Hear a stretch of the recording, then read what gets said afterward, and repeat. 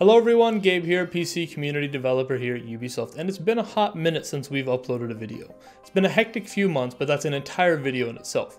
Today we're excited to talk to NVIDIA about their Reflex technology and the implementation of that into Rainbow Six Siege.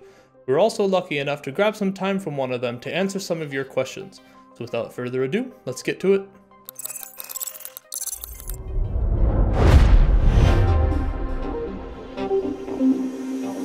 Thanks a lot for joining us. Let's start this off then by who are you and what do you do? Hey, yeah, thanks for having me. My name's Seth Schneider. I'm our esports product manager for GeForce. I focus on things like 360 Hz and NVIDIA Reflex, helping bring lower latency to gaming.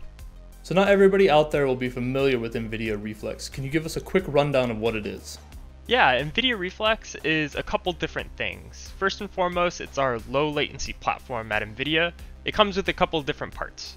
Uh, it's designed to both measure and optimize system latency.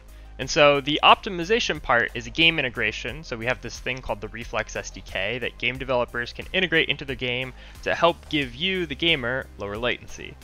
Additionally, we have something called the Reflex Latency Analyzer, which is a um, basically a separate piece of hardware inside your monitor that helps you measure full end-to-end system latency. So you take your mouse, you plug it into your monitor, and you can measure that click to actual display photon change latency. It's the responsiveness of your game, the actual feeling that you get.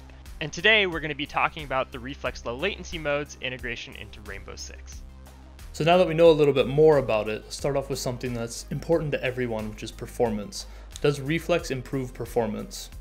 So it depends what you mean by performance. So often I think when gamers talk about performance, they're really talking about frames per second, but there are other metrics to consider when thinking about performance. You have your FPS, which is basically the number of images that you're getting to your eyes per second. That uh, basically FPS provides things like smoothness, motion clarity, and then one of the other benefits of FPS is responsiveness. Now, though FPS does provide responsiveness, responsiveness or system latency is a whole metric in and of itself. And so what Reflex aims to do is actually improve the feeling of the game, the responsiveness of the game, while maintaining the same FPS.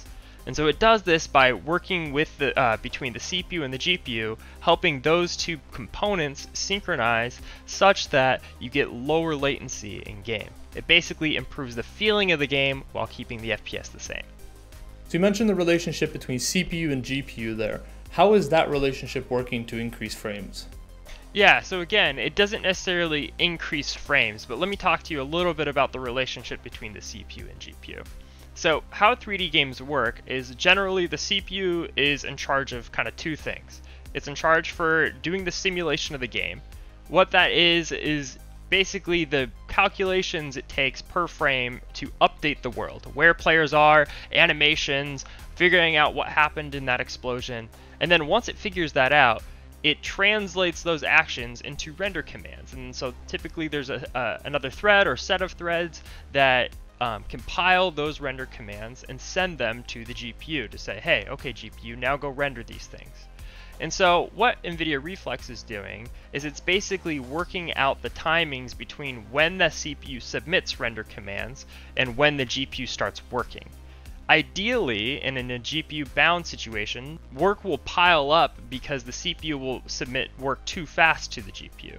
And what Reflex does is that it basically manages how quickly the CPU submits work to the GPU, such that it's submitting just in time for the GPU to start working on it.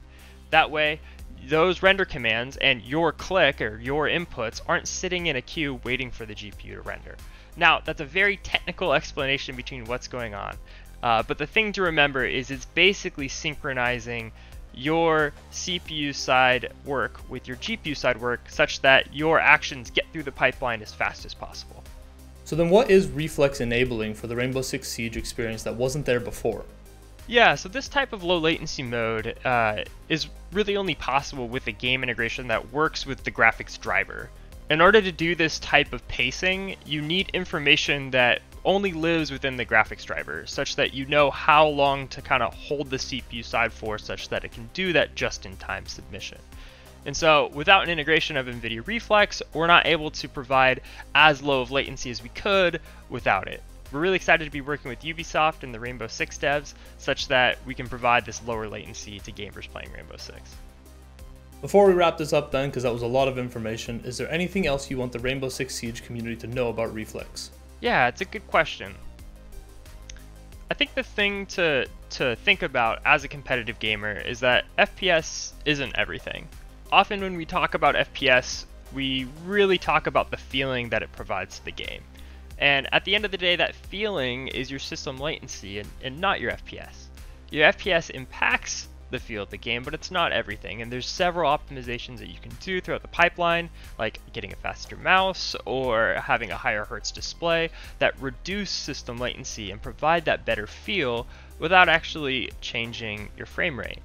And so it's a little bit of a shift in how we think about performance as competitive gamers, but that thing that really impacts us the most is that responsiveness. That high, that better responsiveness provides better precision when aiming. It provides us the ability to see a version of the game world that's closer to the simulation, such that our actions are more precise and we get better like hit registration.